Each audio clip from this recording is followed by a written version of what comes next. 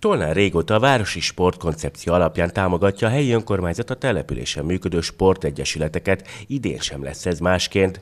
Hat kiemelt sportegyesület van a városban, az Asztali Tenisz Egyesület, a Tanrenkarate Egyesület, a focisták, a futszálosok, a kajakosok, a kézilabdások, és talán nem felejtettem ki sem, senkit. Ők, ők azok, akik, akik a sportkoncepció szerint egy nagyobb összegű támogatást kapnak, amit főleg utánpótlás nevelésre kell fordítaniuk. Tavaly a versenysport támogatására 9,5 millió forintot tudott az önkormányzat fordítani. Ebből a pénzből az egyesületek például az edzésekhez és a felkészüléshez szükséges eszközöket és mezeket vehetnek, vagy pedig a versenyek utazásaira fordíthatják.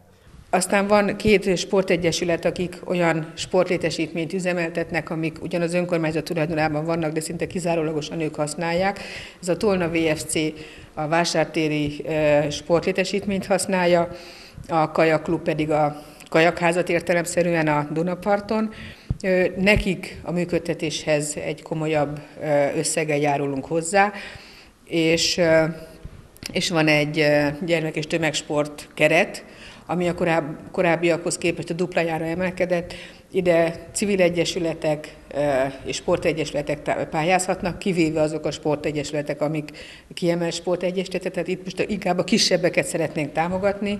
Ez a tavalyihoz képest a, ennek a keretösszege a duplájára nőtt, és mindösszesen 15 millió forinttal támogatjuk a sportegyesületeket. Ez több mint 10%-os emelés 2019-hez képest, akkor ugyanis 13,9 millió forint jutott a kluboknak Tolnán önkormányzati költségvetésből. Itt azért meg kell azt jegyeznem, hogy, hogy a kiemelt sportegyesületek kedvezménnyel bérelhetik a sportlétesítményeinket, tehát gyakorlatilag, ha jól emlékszem, fele áron tudnak bérelni sportcsarnokot, a lovardát, a, a, a többit, és ezzel is támogatjuk a, azt, hogy minél többen sportoljanak a városban, és hogy ez a lehetőség szerint a szülők pénztárcáját minél jobban kímélje.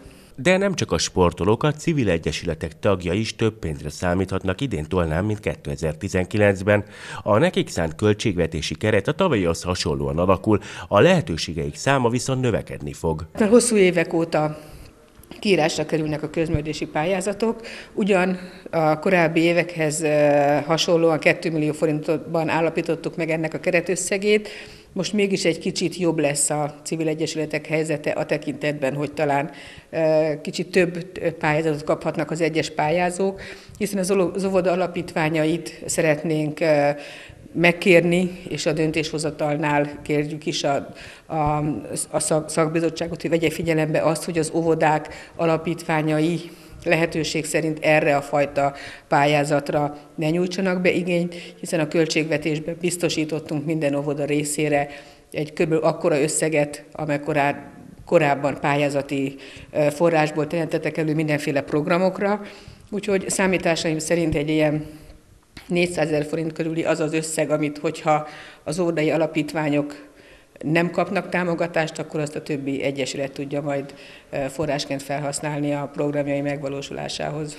Tolnán a helyi önkormányzat támogatásainak köszönhetően a civilek és a sportolók több mint 17 millió forintra számíthatnak idén.